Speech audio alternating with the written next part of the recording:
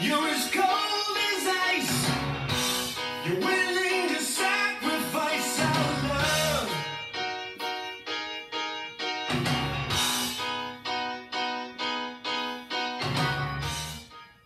Happy Taco Tuesday. These are da- these are your daily announcements.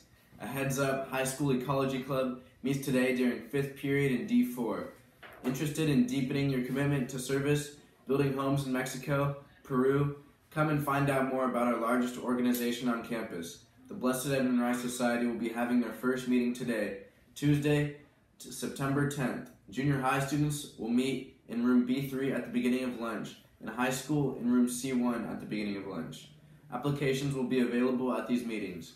Questions, concerns, see Ms. Mirsu or Mr. McLetty in the chapel office. Those needing and wanting to do community service, we will begin our after school service program today, Tuesday, September 10th, and every Tuesday after at Sunrise Villa Alzheimer's Care Unit. Meet in the chapel by 3:15 p.m. We will travel by Palma Van. Permission slips are available in the front office. Questions, concerns, see Ms. Mirsu or Mr. McLetty in the chapel office. Attention junior high and high school. Would you like to learn more about robotics and programming? Never been to robotics club? Come out this Friday, September 13th, after school to room D5 to learn about the two different robotics competitions that we will be engaged in this semester.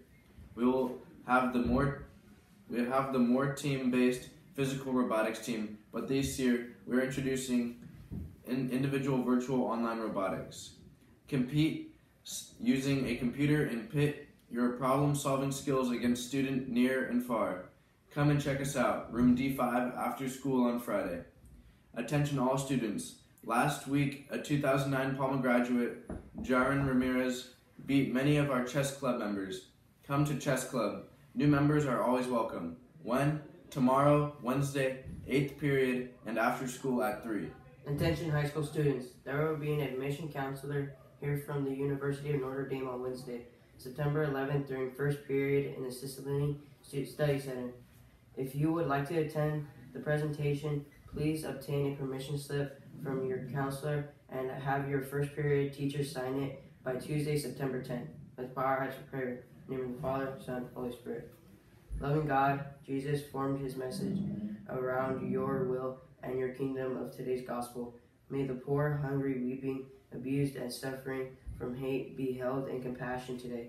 May all believers move beyond their fears and wants to be servants of love to those you honor as your beloved. We ask this through Jesus, our brother and Lord. Amen. Amen. Blessed Edmund Rice, Pray Pray for for us. us. Jesus in our hearts. Forever. Have a good day, chieftains.